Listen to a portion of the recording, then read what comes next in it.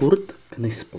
Nejúspěšnější nacistický tankový střelec druhé světové války pocházel z Jesenicka.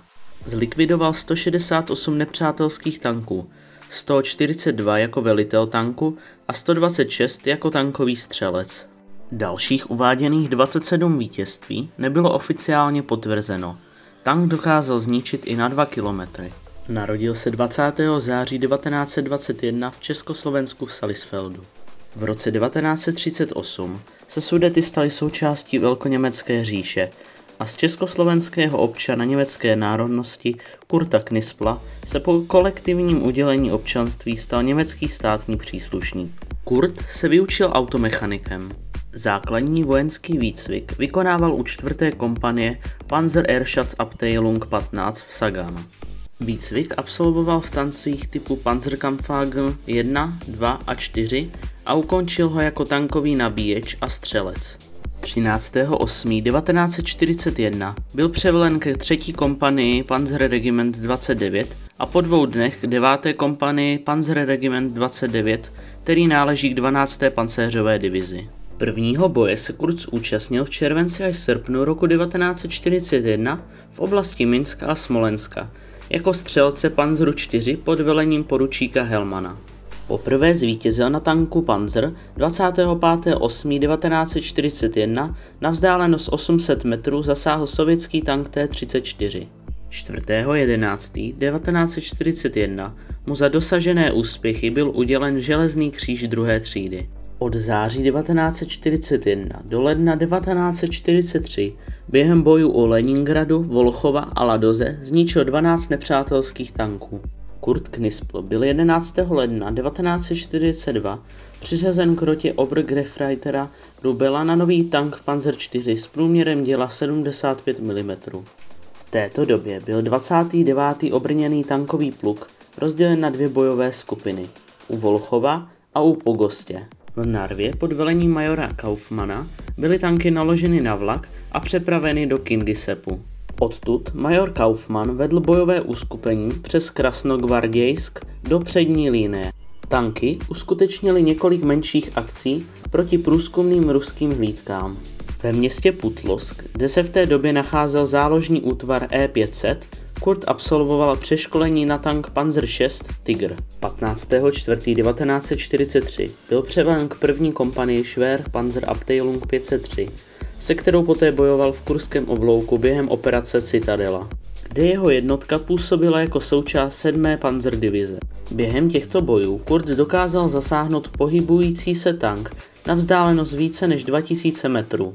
Dle tvrzení členů jeho posádky uměl zasáhnout statický tank i na vzdálenost 3000 metrů. V této operaci zničil 27 tanků.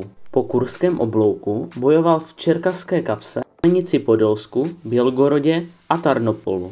Po dosažení 50. vítězství mu 24.7.1943 byl udělen železný kříž první třídy. Po těžkých bojích a ztrátách byla v květnu 1944 Schwerpanzerabteilung 503 stažena do Ohrdrufu, Durinsku na doplnění vojenskou technikou.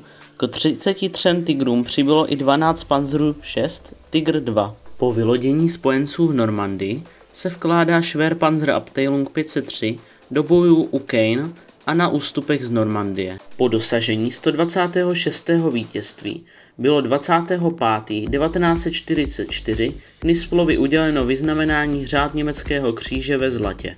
Té době měl Kurt stále hodnost Unteroffizier. Do pozice Feldwebel byl povýšen 1.1.1945 se zpětnou účinností od 1.11.1944. Současně se stává jediným poddůstojníkem, který byl jmenovaný ve zprávách brané moci. V buletinu vojenské situaci, který vydávalo OKV každý den od 1.9.1939 do 9.5.1945 v posledních rozhlasových zprávách. Dle zpráv z buletinu Kurt Knispl zničil od července roku 1941 do březnu 1944 101 nepřátelských tanků. Na podzim v roce 1944 byla opět jednotka doplněna novou vojenskou technikou.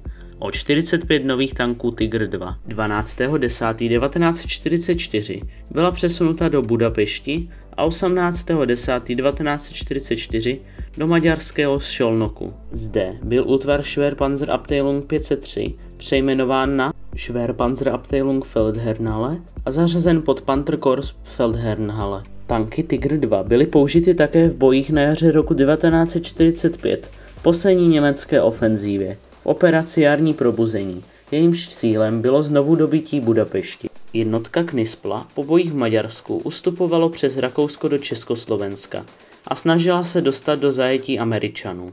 Tehdy poblíž československých hranic byl Kurt zabit. Smrtelně zraněn byl v tanku, do kterého si den předtím přesedl a velel mu Feldwebel Skoda a také v něm sám zahynul. Kurt Knispl zemřel na následky zranění ocelovou střepinou do hlavy a byl pochován za hřbitovní zdí v obci Vrbovec ve společném hrobě. 8. až 10. dubna 2013 bylo jeho tělo exhumováno za účastí pracovníků historického oddělení Moravského zemského muzea v Brně. U pravého zápěstí měl polovinu nerezové identifikační známky, na které bylo vyraženo osobní číslo vojáka 812, krevní skupina A a zkrátka jednotky. Čtvrtá Panzer Abteilung 15, neboli roty čtvrtého záložního tankového oddílu 15, kde v roce 1940 Knispl absolvoval výcvik. Ostatky Kurta Knispla byly následně uloženy v části německého válečného hřbitova na ústředním hřbitově v Brně. A tohle by bylo pro dnešní video vše. Můžete dát like, odběr a napsat mi do komentářů, o co dalšího by byl zájem. Tak zatím čau.